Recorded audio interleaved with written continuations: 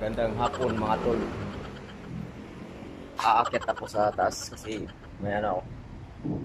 May gagawin ako na ano. Bubuk. Tulo na kasi. Kaya ayusin ko lang.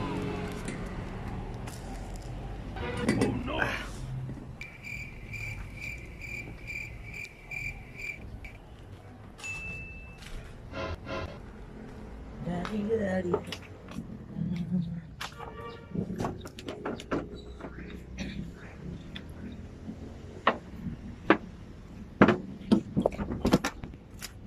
Kasi ano mga tol, ah parang umuulan na eh. Kaya ayusin ko yung buko.